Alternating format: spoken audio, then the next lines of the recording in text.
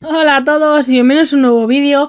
Y esta vez es una pequeña es un pequeño evento por así decirlo. Es que se ha anunciado un nuevo evento de distribución de un Pikachu aunque por ahora como ya sabéis es en Japón. Pero bueno yo os informo de que va a haber un nuevo evento de distribución de un Pikachu aunque solo sea para Japón. Pero bueno os informo para que lo sepáis. Se ha anunciado un próximo evento de distribución para los jugadores de Pokémon Sol y Pokémon Luna en Japón.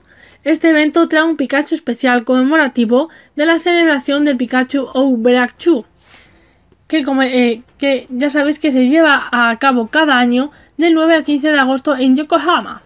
Por el momento no se han desvelado realmente más detalles sobre el evento de este Pikachu a repartir, sin embargo, eh, lo más seguro es que sean similares a los del año pasado. El año pasado, eh, este Pokémon, por así decirlo, eh, las características es que venía al nivel 10, tenía la habilidad de electricidad estática, venía equipado con el fragmento cometa, el incienso marino, pañuelo seda, banda focus o escama corazón, depende cómo te tocara, y conocía los movimientos de rayo, ataque rápido, manos juntas, surf o arrumaco.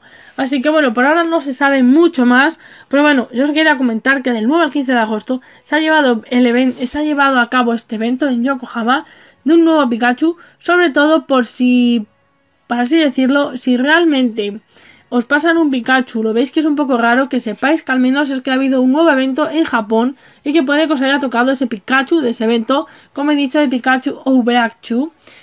Es que me ah, suena muy bien, que como he dicho, solo sería eh, solo para los jugadores de Pokémon Sol y Pokémon Luna que sean las versiones en japonesas, ¿vale?